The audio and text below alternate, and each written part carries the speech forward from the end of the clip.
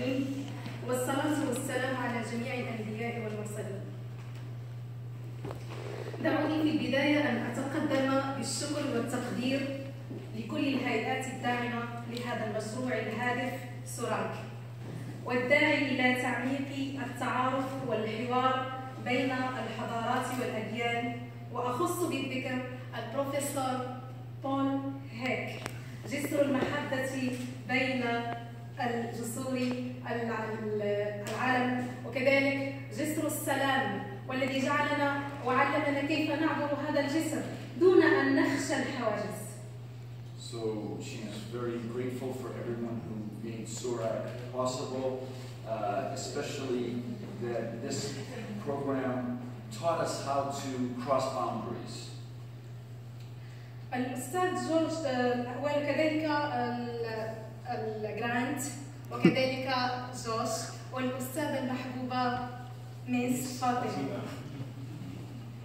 وممثلي المراكز والمنظمات والهيئات الحاضرين معنا والذين تقاسمنا معهم التجارب والخبرات من أجل مد جسور التواصل والتعارف. So she's grateful for um, all the people she met, uh, professors, friends, because of their willingness to meet with us, they allowed us to cross bridges and boundaries. أيها الحضور الكريم، اقتضت مشيئة الرحمن أن يخلق الناس مختلف مختلفين متباينين في فهمهم وثقافتهم وعرقهم ودينهم وهذا الاختلاف باق إلى يوم الدين. So she says it's God's will to create humans different, different in their culture and their color and in their race and in their beliefs.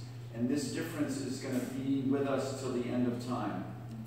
لكن الاختلاف بهذا المعنى لا يقتضي الصراع والنزاع والشقاق بل يقتضي التعارف المفضي إلى العمران البشري.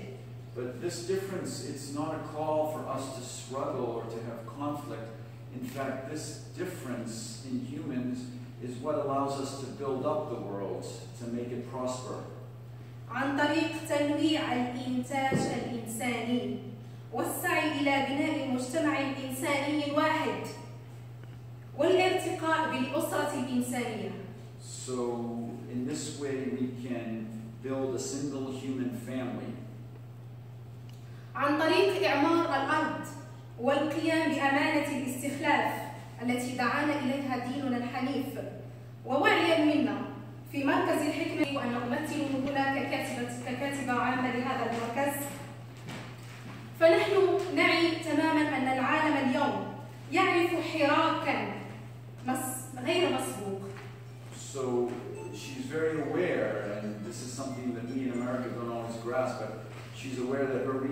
is up in flames, um, and it's it's so obvious now. We need to know one another.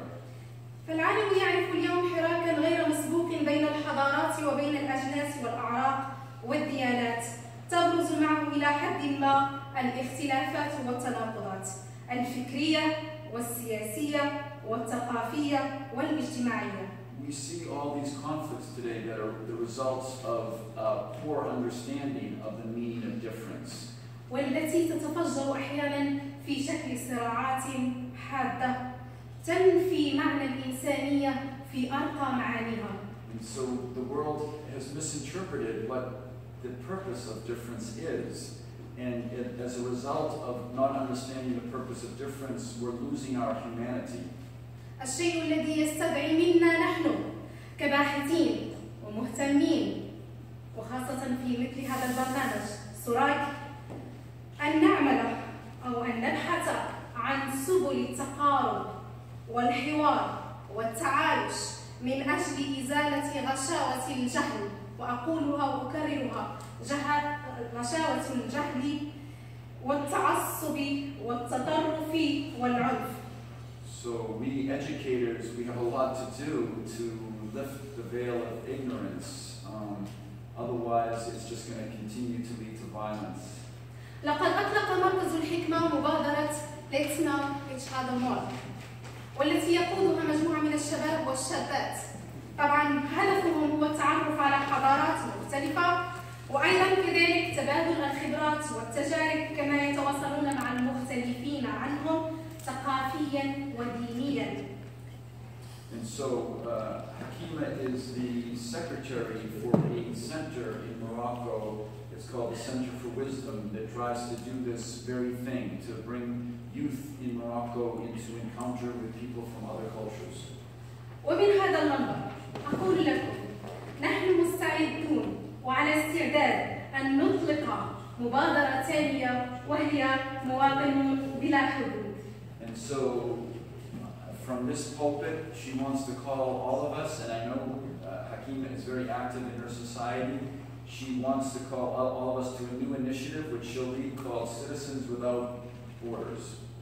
لقد راودتني هذه الفكرة منذ كنت أعيد بحثي للماجستير وتبلورت هنا عندي جيدا إذا آه، أريد أن أقول لكم نحن نعرف أن التحدي كبير وأن الطريق ليست مفروشة بالورود So uh, this idea of global citizenship, she's really thought about it for a long time, but here uh, it's really clarified for her that she needs to move forward with this.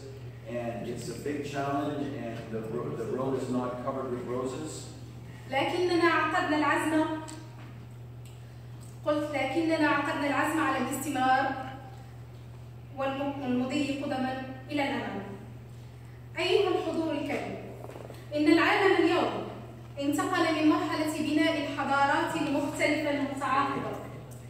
إلى بناء الحضارة الواحدة المشتركة التي تجمع في داخلها تنوعا واختلافا So the world has moved from a time where we were divided in civilizations, east west, but we now have to move in a direction where we realize we're a single human civilization.